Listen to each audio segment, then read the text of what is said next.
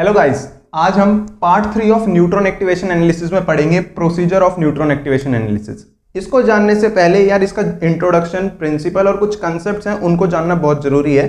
उस पर भी मैंने वीडियो बनाई है पार्ट वन और part two of neutron activation analysis link description पे है, या आप आई कार्ड पे जाके भी चेकआउट कर सकते हैं वो वीडियो। तो आज हम शुरू करेंगे यार procedure of neutron activation analysis neutron activation analysis के प्रोसीजर की अगर मैं सिंपल सी बात कर लूँ तो पहले यार हमें ये पता होना चाहिए कि सैम्पलिंग किस किस चीज़ की अपन कर सकते हैं। सैम्पलिंग किस चीज़, किस किस चीज़ की अपन कर सकते हैं।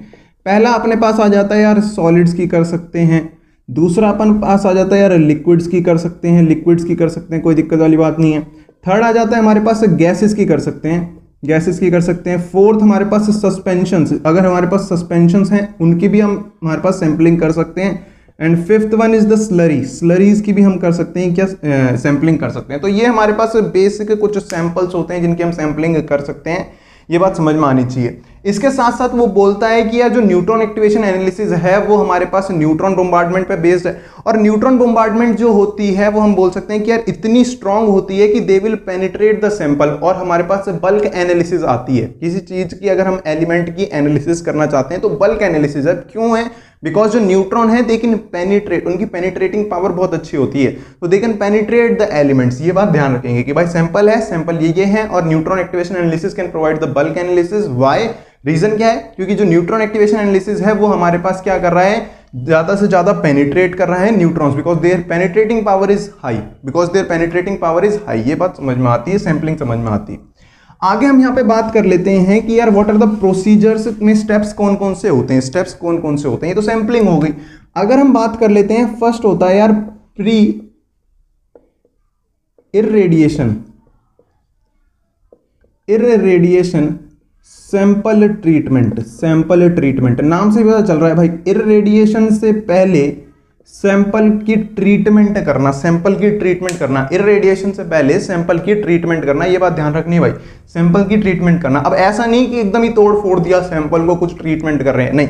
सिंपल क्या कर रहे हैं यार? इसको हम क्या कर रहे हैं? क्लीनिंग कर रहे हैं सैंपल की। सैंपल की क्लीनिंग कर रहे हैं एंड देन उसकी ड्राइंग कर रहे हैं। इतनी बात क्लियर होनी चाहिए कि सैंपल ट्रीटमेंट में जो हमारे पास सैंपल आया है, उसकी क्लीनिंग कर रहे हैं और उसकी ड्राइंग करें, इतनी बात क्लियर होनी चाहिए सैंपल ट्रीटमेंट में कि भाई कुछ इंटरफेरेंस ना आए। कुछ अगर फालतू की चीज़ें उस सैंपल पे हैं तो उसकी कोई इंटरफेरेंस ना आए हमारे न्यूट्रॉन एक्टिवेशन एनालिसिस करते टाइम उस सैंपल की। तो हम सिंपल क्या करते हैं प्री रेडिएशन सैंपल ट्रीटमेंट कर लेते हैं, जिसमें हम अपन ड्राइंग क्लीनिंग कर रहे हैं एंड देन उसके बाद ड्राइंग कर रहे हैं this will be the first procedure उसके बाद अपन क्या करेंगे? उसके बाद अपन करेंगे यार, इसको इस सैंपल को ऐसी जगह पे रखेंगे जहाँ पे हमारे पास न्यूट्रॉन का सोर्स है, ताकि न्यूट्रॉन का जो फ्लक्स है वो इस सैंपल पे पड़े। That is the second procedure is the irradiation of the sample that is अब उस पर हम क्या कर रहे हैं? रेडिएशन डाल रहे हैं इरेडिएट कर रहे हैं उस सैंपल को।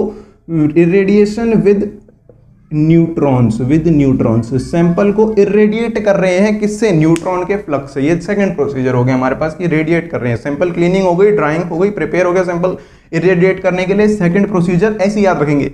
कि भाई सैंपल क्लियर हो गया। अब हम क्या कर रहे हैं? रेडिएट कर रहे हैं न्यूट्रॉन से। इतनी बात क्लियर होनी चाहिए। थर्ड अगर हम बात कर लें थर्ड में हम क्या बात कर सकते हैं? थर्ड की अगर मैं बात करूँ तो मैंने एक चीज़ बताई थी कि अगर हम बात करें radiochemical neutron activation analysis की तो इसी स्टेप के बाद तो वो होता है। इसी स्टेप के बाद होता है। तो अगर हमारे पास रिक्वायरमेंट है radio radiochemical neutron activation neutron activation analysis करने की तो इस स्टेप के बाद हम क्या कर सकते हैं यार? आर एन ए ए भी कर सकते हैं। ये ऑप्शनल है, ये ऑप्शनल है। अगर आपको करना है तो करें, जिन एलिमेंट्स के लिए लगाना है, लगाएँ। बट अगर नहीं लगाना तो हम इंस्ट्रूमेंटल भी कर सकते हैं। इंस्ट्रूमेंटल भी कर सकते हैं। इतनी बात क्लियर होनी चाहिए। इंस्ट्रूमेंटल भी कर सकते हैं। इतनी बात क्लियर होनी चाहिए। ध्यान से देखेंगे। अब अगर हमने आर एन ए ए लगा दिया तो ठीक। अगर हम बात करते हैं इरेडिएशन के बाद इरेडिएशन के बाद क्या होगा? वो एक्साइट हो जाएगा। एक्साइट होने के बाद हम बोल सकते हैं कि यार, वो वो गामा रेज दे दी प्रॉम्प्ट गामा रेज दे दी। प्रॉम्प्ट गामा रेज दे दी तो भाई उसकी हम डिटेक्शन कर सकते हैं। उसकी डिटेक्शन करनी है तो हम बोल सकते हैं यार इरेडिएशन के बाद ही हम क्या कर सकते हैं यार P G N A A perform कर सकते हैं। That is prompt gamma rays neutron activation analysis को परफॉर्म कर सकते हैं। अगर आपको यहाँ पे radiochemical N A A perform करनी है या केमिकल मॉडिफिकेशन लानी है, तब भी हम यहाँ पे परफॉर्म कर सकते हैं। उसके बाद क्या होगा? अगर हम बात करते हैं कि यार, जब उसने गामा रेज दे दी तो वो रेडियो आइसोटोप बन गया। रेडियो एक्टिव आइसोटोप बन गया। अब रेडियो एक्टिव आइसोटोप बन गया तो उसका डिके पीरियड होता है। दैट इज़ हम बोल सकते हैं analysing of analysing of radioactive radioactive isotope अब analysing of radioactive isotope समझेंगे रेडियो एक्टिव आइसोटोप का एनालाइजिंग दैट इज़ हम बोल सकते हैं कि जो हमारे पास रेडियो एक्टिव आइसोटोप बना, उसका कुछ एक सर्टेन हाफ़ लाइफ होगा डिके पीरियड होगा।